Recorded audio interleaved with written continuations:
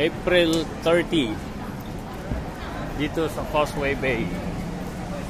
Uh, Hong Kong is going back to its normal life.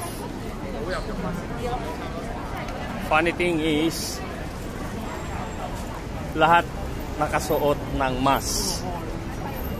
So, looks like parang bahagi na ng buhay di, ng mga tao ang magsuot ng mask. Ayan o. Oh. So go. Okay. So, wala ka talaga makikitang walang suot ng mask. Lahat may suot ng mask. Yeah. But the sad news is bukas uh, May 1 dito sa Causeway Bay mismo ay magkakaroon ng malawakang rally. So nawala nga ang COVID-19 which is naging zero case na yata dito sa Hong Kong. Pero rally naman ang kapalit bukas at may mga ibang schedules pa sila. So ito yung crossing ng Causeway Bay.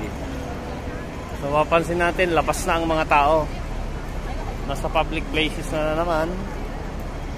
Uh, shopping malls as usual bahagi na ng buhay ng mga Hong Kongers ang pagsha-shopping okay. Sasa yeah.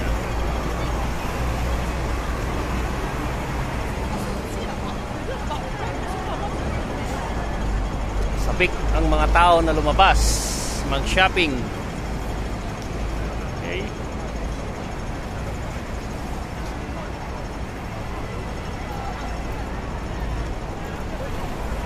can't imagine na since nag-start ang COVID-19 coronavirus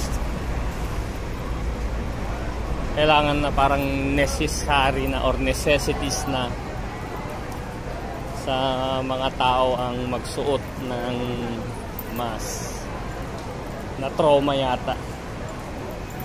But actually I don't wear mask kasi lahat naman sila nakasuot na ng mask eh. So, yan. I don't wear mask.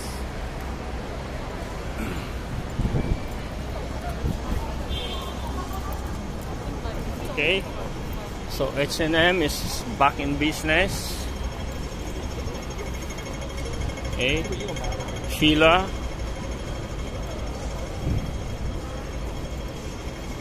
and I'm going to IKEA. Yeah.